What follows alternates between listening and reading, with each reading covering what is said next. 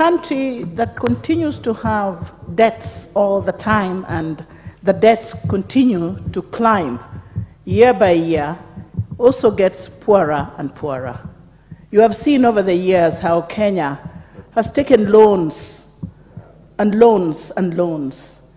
And they started from a very small amount, and now we cannot even afford it. And now we are beginning to see how it's affecting us.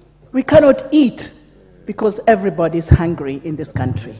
You can see the government cannot even pay salaries, doctors and teachers, and the police women and men, people in the civil service are not getting their due salaries on time. This is a, a pointer to the fact that we are performing very, very badly economically.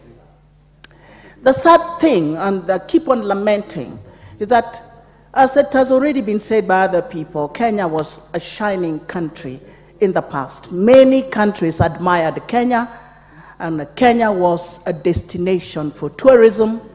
It was a place to admire because we have great athletes. Kenya has beautiful animals, and it has very wonderful sights to see. But we have really, really fallen down. We have deteriorated so fast and so miserably to the extent that Kenyans themselves are wondering where we are going. There are no jobs for young people who are educated. Where are we headed to? We have collapsed the very system that would create or generate funds for us. We have collapsed the, uh, the sugar industry. We don't have sugar, we are importing. We do not have tea, which is supposed to be the best in the world. We are no longer great in that area. We have collapsed our cotton, which used to grow in Nyanza. Our fish industry is collapsing. Everything is collapsing. Where is the future for this country? Are we not going to be marooned with debts upon debts?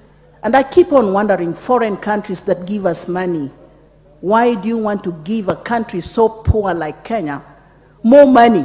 How are we going to pay you? Why don't you ask yourselves how Kenya is going to manage the loans that Kenya continues to borrow? I think time has come for them to refuse. Kenya should be punished for stealing and for corruption because we are creating poverty ourselves.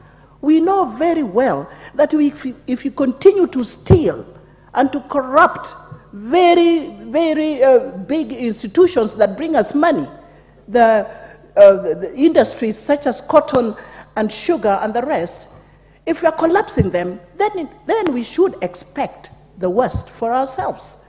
So I do blame the administration of this country. This country does not see ahead. It is ready to sink the country and then keep on mourning and mourning and saying how the world uh, has gone very broke, how inflation has gone up. Inflation will go up because you yourself don't want to take care of yourself economically. We are not planning. Point of order. Your point of order, Honorable Sunguya? Thank you. You can Uh, have a seat, Honorable Mbaka, let him prosecute his I point sit of and order. I stand on a point of order. Uh,